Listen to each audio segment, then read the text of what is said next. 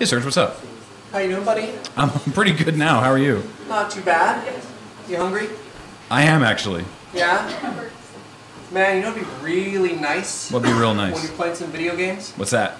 Probably a cheeseburger. Cheeseburgers are nice. Yeah, don't you just want to play cheeseburgers when you're like eat cheeseburgers when you're playing video games all the time? What did the Destiny clan make you do? Uh, oh, nothing. I, they just thought it might be kind of nice to uh, to get you like the swankest cheeseburger ever. Oh my god. Whoa.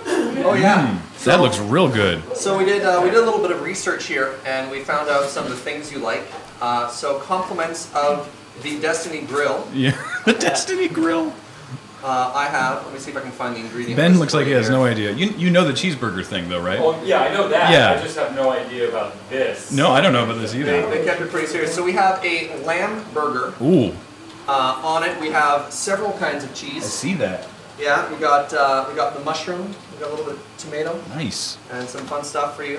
And uh, the of course it comes from. Hey! Oh, you got a point. I got a point. And I have hit start. We are back into overtime, going back to Vegas. Woo! So Thank, uh, thank you, Kara, for doing most of the heavy lifting on that.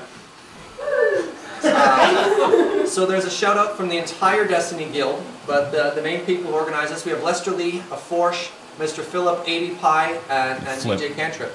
That's fantastic. Thank you guys. Thanks, So guys. you That was awesome of you. Your,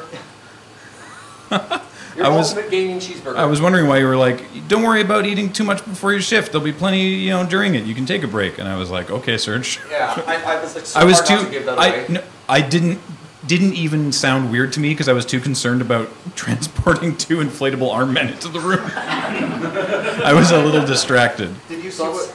put this somewhere safe. So How am I going to eat that? I don't know. Carefully. We'll uh, figure it out. gluttonously. There are options.